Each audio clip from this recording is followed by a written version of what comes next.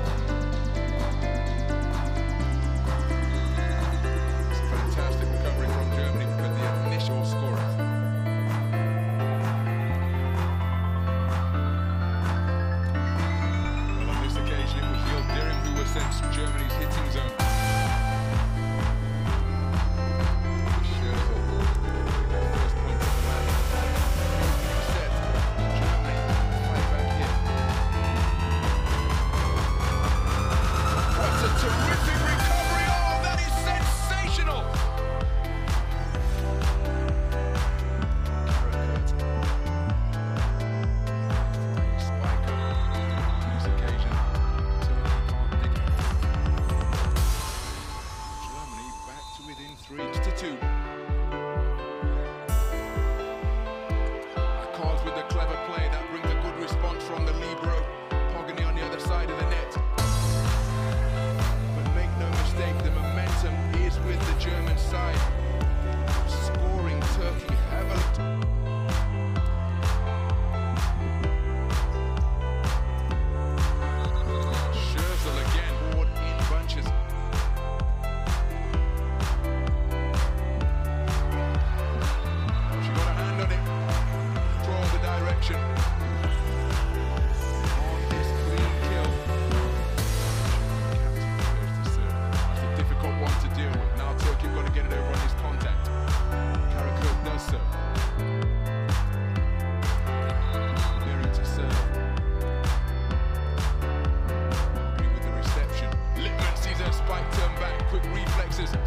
by Barber.